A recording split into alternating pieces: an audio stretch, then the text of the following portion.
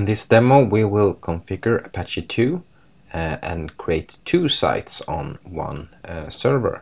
So we'll go through virtual host also. Um, the first thing that we need to do is somewhere to store our files, our HTML files, and this is usually uh, stored under var www and then the domain name. Um, so we, I'm now logged on to the Apache web server uh, that I created in a previous demo. Uh, we'll start up by creating uh, the locations for these. So I have will create uh, this will be the first site my username dot and then we have a name for the folder where the HTML files should be stored. This could be anything actually, but we usually make um, state that it is public. This this folder will be public accessed from the web server. Um, so we create that one. I also will have a secondary, so I create that now also. Uh, just made a subdomain, so it's a different domain, test dot my username dot devopslabs dot xyz.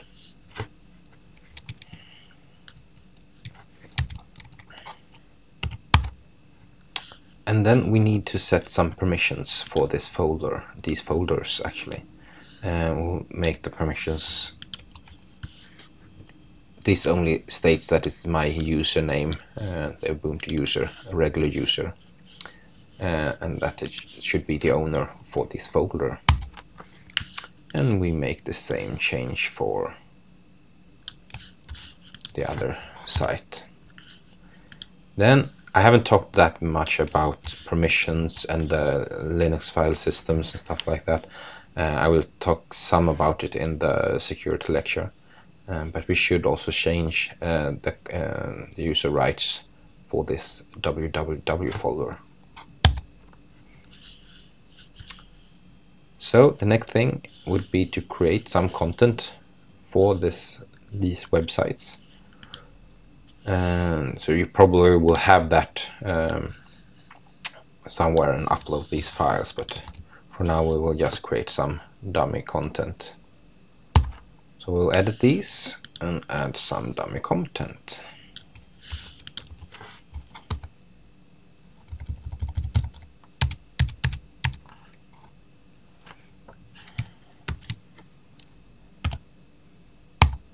And as you saw, I didn't use sudo here because now I am the owner of this folder. So I will be able to write this without sudo. We'll do the same for the other site.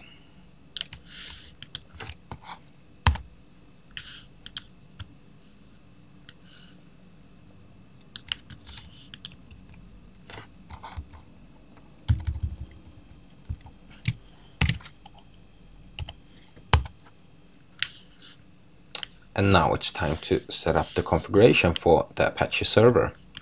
And the Apache server has a default site, uh, as we saw before, this site. And we will copy the configuration from that to have a starting point.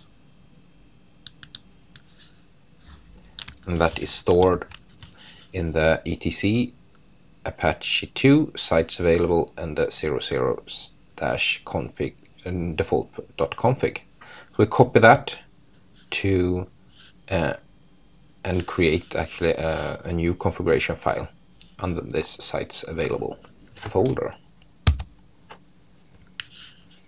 And then we will edit that file.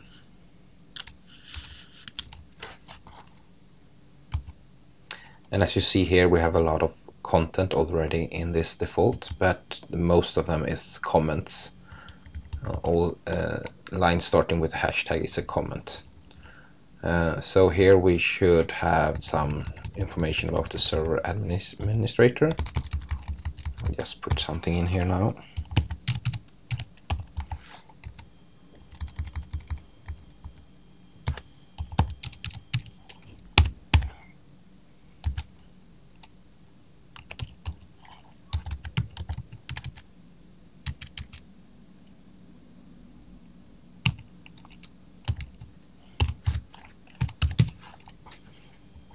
and where uh, the content is stored. Uh, this is what we created before.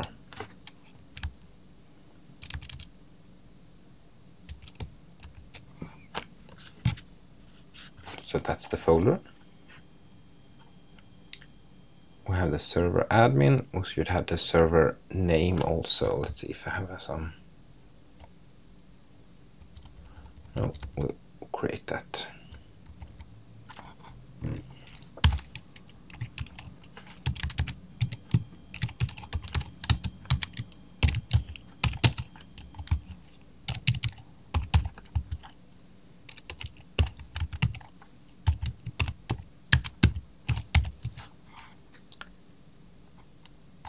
and we will create an alias for this one just to see how that is done so it will answer for both the uh, JL 222 gk.devopslabs.com and www.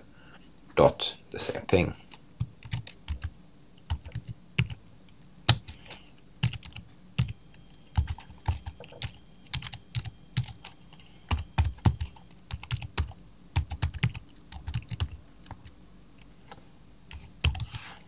So now we have an alias also. And then the logging, uh, we should use the default uh, logging. That's it. Save that file. And for the other, we can copy this configuration and just make some changes to it. This was test.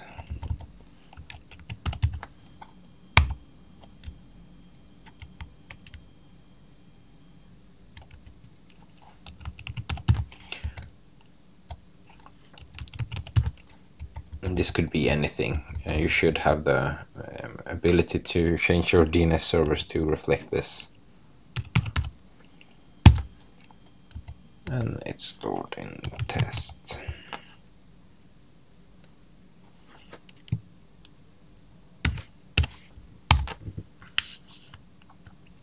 So now that it's done, we should enable these sites and we have a command for that. A2 n site stand for uh, uh, Apache 2 enable site and where the configuration file is. So that's loaded and then we load the test site.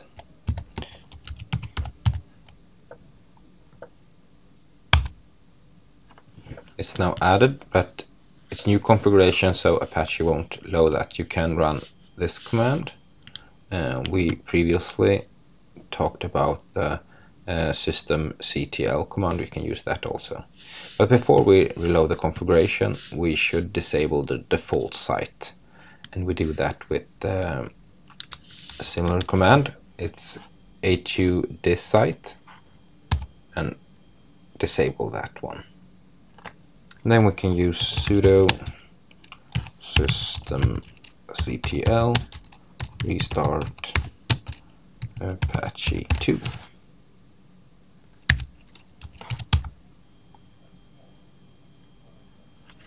So now when we go to the site, we get some uh, content, uh, and it's we disable the default site. Uh, but how do we get to the different sites? Uh, we have made some configurations, and the site name is this uh, URL. Uh, and for now I don't uh, have this, so I need to, oh, this is wrong actually, I should change that one. Good, I saw that. The site name should be test dot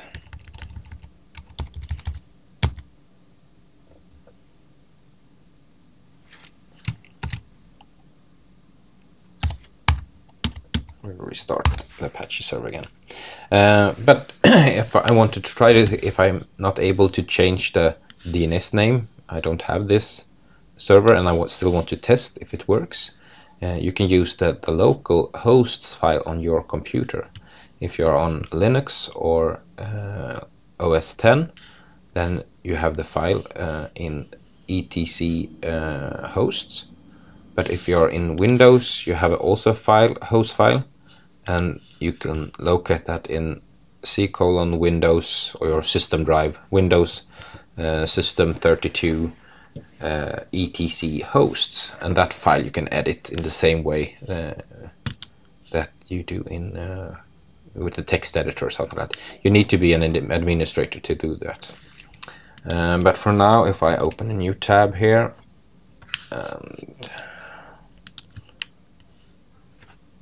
open my file, sudo. Nano etc. Hosts. Here we have my host file on my local machine, not in the virtual server. Here I can uh, make static mappings. So first off we need to uh, get the IP and this is the IP for the server. You should only have the IP. This is the static mappings. and then the name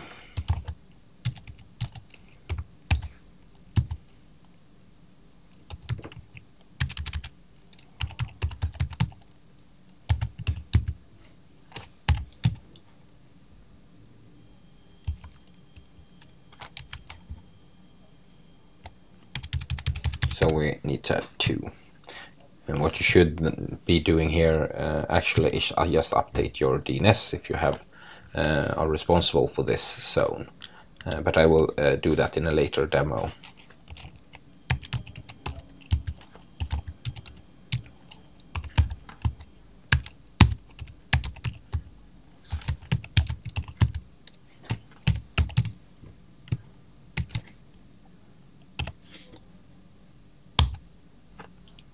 So let's see if I can go to these sites.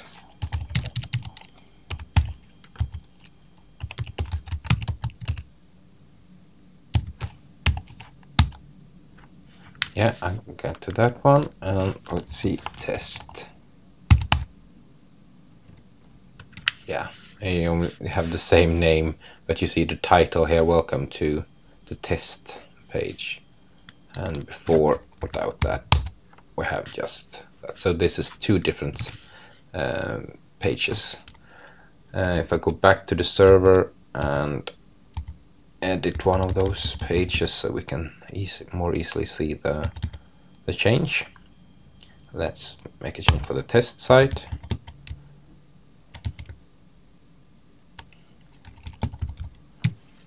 Test site is working. Now we save that we don't need to reload uh,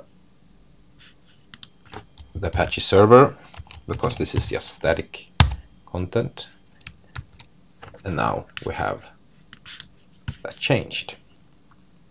So that's how you set up uh, sites uh, in websites in Apache server 2 and also how you have them serve multiple different uh, sites at once